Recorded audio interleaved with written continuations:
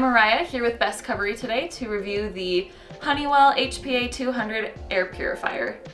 We're gonna go over some of the features, pros, cons, and I'll let you know if I think this is a product I would recommend or not.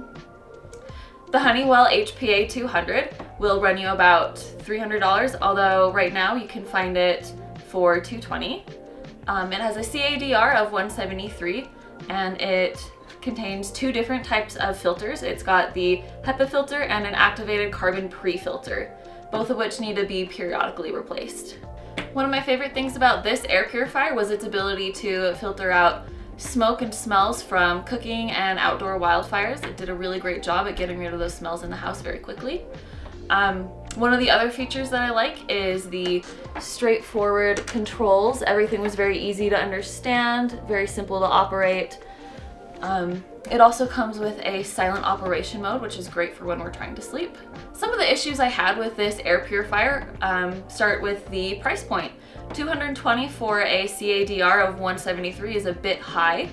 Um, I also think that it is a bit of an eyesore. It takes up a lot of space.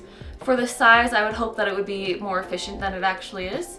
Um, and finally, I think the filters are a little bit expensive. You have to replace the pre-filter every three months and the HEPA filter every six months, and replacements for that are about $35, adding to your monthly operational cost of this one.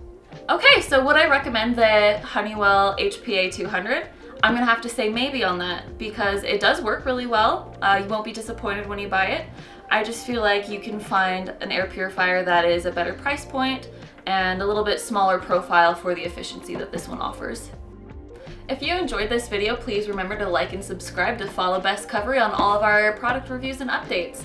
And be sure to comment below if you have any products you'd like us to review in the future.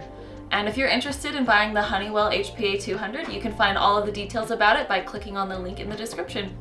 And as always, discover the best of everything with Bestcovery.